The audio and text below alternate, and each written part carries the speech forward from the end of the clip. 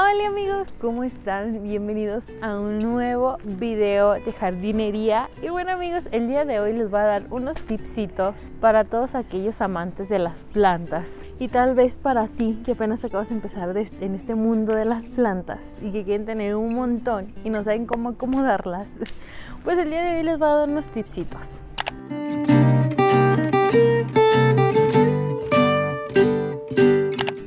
Siento amigos que soy el vivo ejemplo de que si quieren tener muchas plantas las pueden tener y que bien acomodaditas no se va a ver tan saturado, se va a ver un lugar bonito, no se va a ver un lugar tan aborrotado y sobre todo que se van a ver bien bonitas sus plantitas. En fin, espero que les sirva estos tipsitos para ahorrar espacio en un lugar pequeño y si ustedes tienen un tipsito, díganmelo, háganmelo saber en los comentarios y díganme, también, ¿ustedes cuántas plantas opinan que tengo?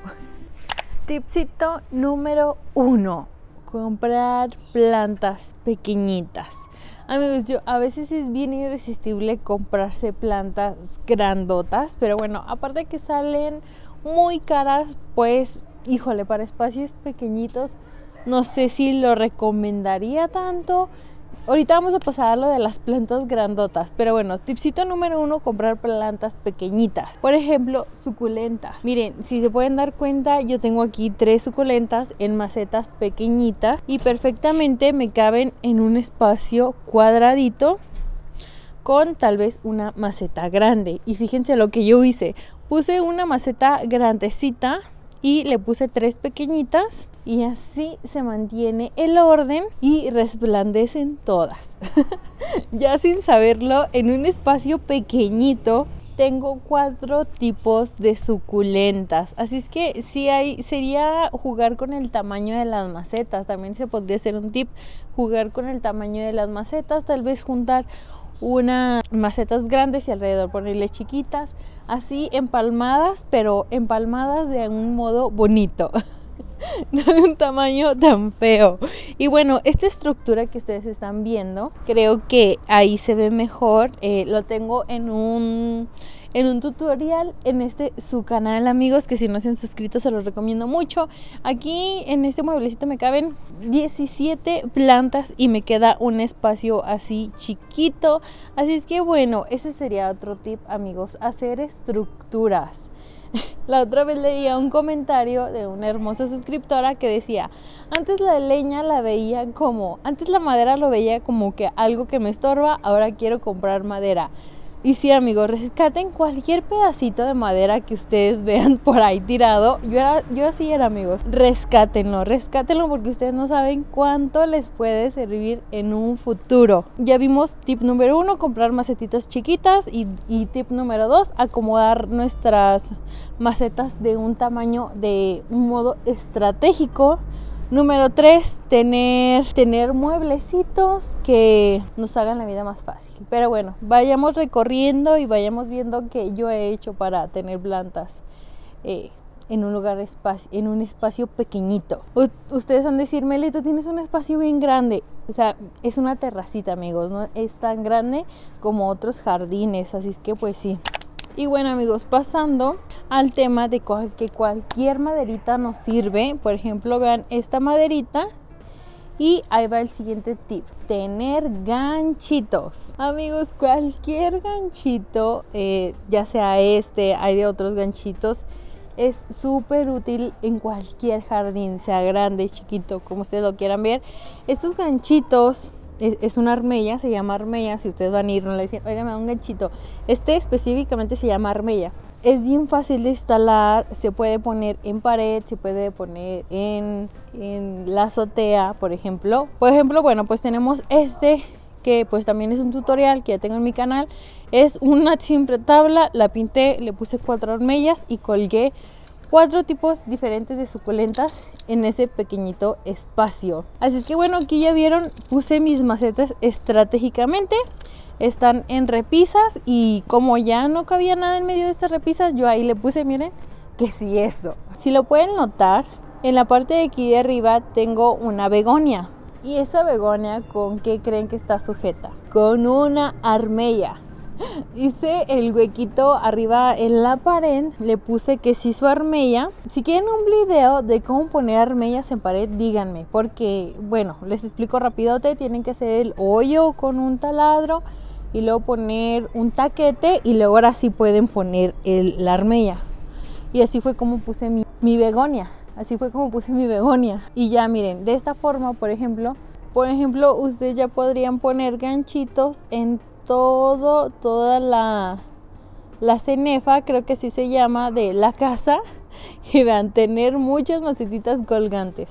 Sí me entendieron, ¿verdad? yo a veces, yo, siento amigos que los trato como que les voy. Es que ya amigos, yo así soy, ¿eh? A mí si me van a explicar algo, a mí me tienen que explicar con peras y manzanas. Así es que por eso ya a veces siento que les explico con peras y manzanas. Este, pero sí, amigos, las armellitas son de gran utilidad en el jardín. Vamos con otro tip. Y ustedes van a decir, Meli, qué fácil. A ti se te hace fácil. Tú puedes perforar la pared con todo y, y, y no pasa nada porque es tu casa. Pero para los que no tenemos casa propia, ¿qué podemos hacer? Les recomiendo mucho estructuras que se pueden hacer con muebles reutilizables. ¿Qué quiero decir con esto? Por ejemplo, un mueblecito con guacales. Les diría vayan y vean el tutorial, pero pues está fácil. Si quieren ir a verlo, pueden ir a verlo. Claro que sí, como ven que no. Pero bueno, es un mueblecito con guacales. La verdad es que es algo bien sencillito, pero me ha gustado mucho y lo tengo desde hace dos años. Tengo 11 macetas ahí, amigos. Y bueno, vamos a ver otra estructura que ustedes la pueden poner y ahorrar espacio. Miren amigos, este es un trabajito que hice hace poquito tiempo. Es una repisa con tarimas. No usé yo martillo para colocarla, solamente la incliné y ya con un ganchito la sostuve. Aquí me caen muchas plantas. Tengo 15 y un, y un terrario grandecito abajo. Este es un gran ejemplo de todo lo que he dado. Tiene repisas, tiene ganchitos y tiene macetitas pequeñas. Y eso me da la posibilidad de tener muchas plantas en un lugar pequeñito y se ven bonitas y organizadas según yo.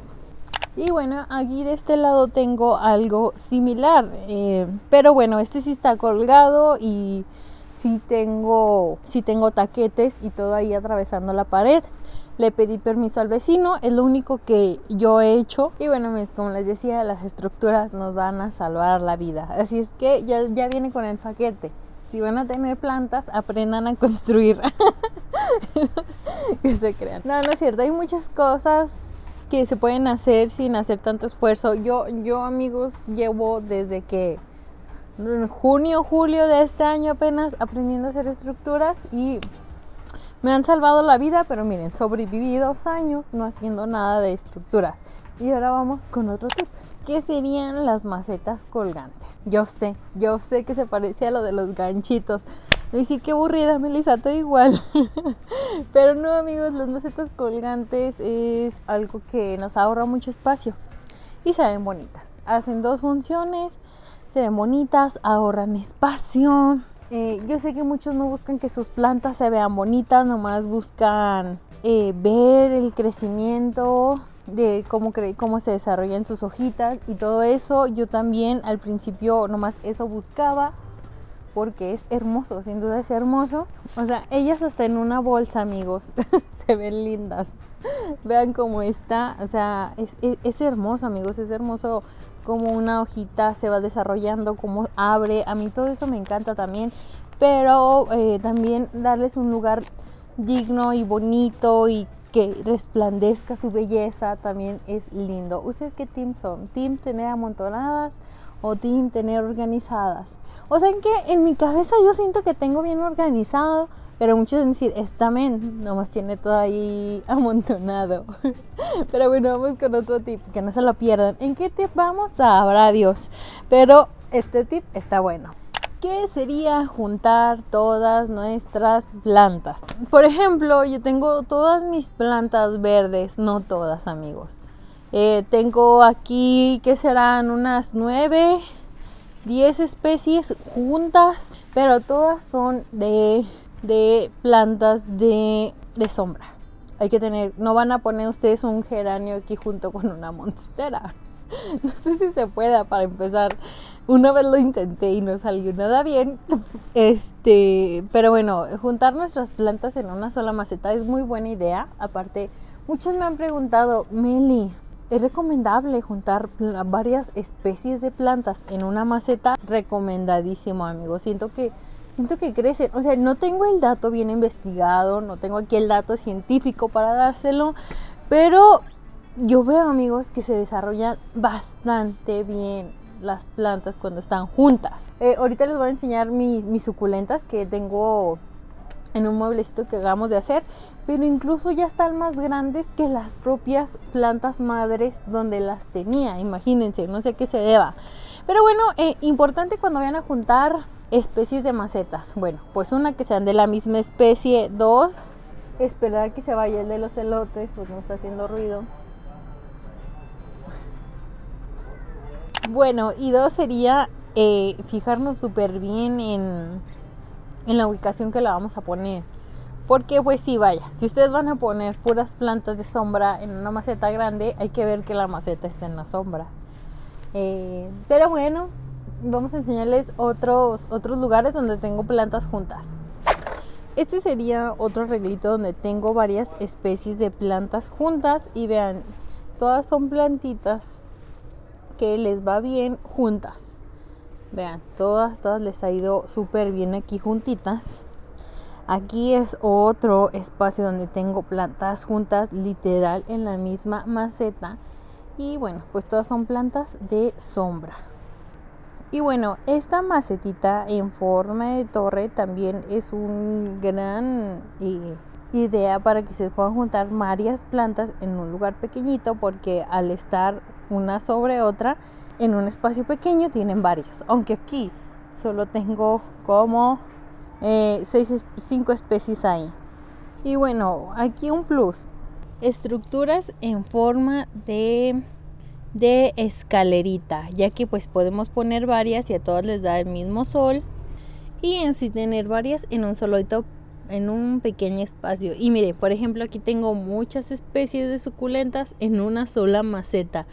¿Sí ven? Pero son puras suculentas que yo sé que, que les va a ir bien juntas. Y como les decía, están súper bien, aún mejor que en cuando estaban en macetas individuales. Así es que no tengan miedo a juntar especies de plantas, porque a ellas les gusta, les va súper bien.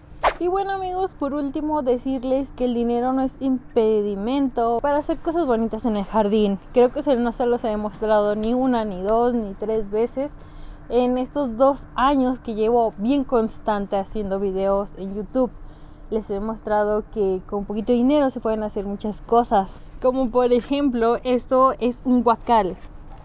Es un guacal que, que yo desarmé y luego hice. Ha sido de mis videos que más personas han recreado.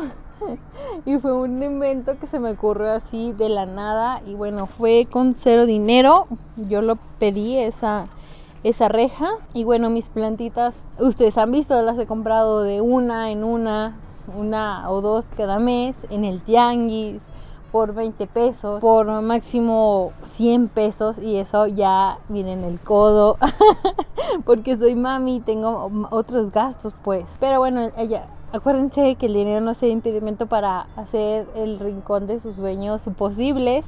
Yo hice el mío y me costó y, y, todavía ahí les sigo, eh, aún no terminamos amigos, esto aún no se termina. Cada vez yo les voy a estar dando ideas para que ustedes puedan seguir teniendo un rinconcito hermoso, así es que si quieren seguirme en este camino, bienvenidos. Y bueno, reutilizar amigos, reutilizar, eh, como les digo, no tiren tablas cuando las vean, no miren, no tiren, yo nunca tiro las latas, por ejemplo, cuando hago comida, no las tiro, las guardo, las lavo, las pinto y de ahí las pongo aquí en el jardín. Y bueno, otra forma que ustedes pueden tener ingresos a veces es vender esquejes de sus mismas suculentas y así tener para comprar otra planta. Díganme, ¿ustedes cuál es su futuro en, en su jardín? para mí es tener un rinconcito que me pueda venir a relajar, que pueda venir a ver cómo van creciendo mis suculentas. Para mí es maravilloso venir a ver y observarlas.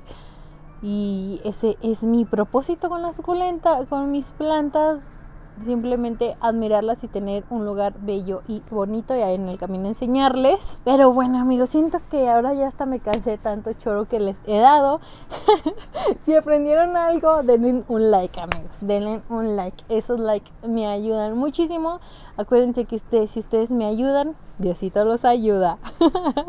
y si no me ayudan, y si no dejan ese like, no, no pasa nada, no pasa nada amigos. los quiero mucho.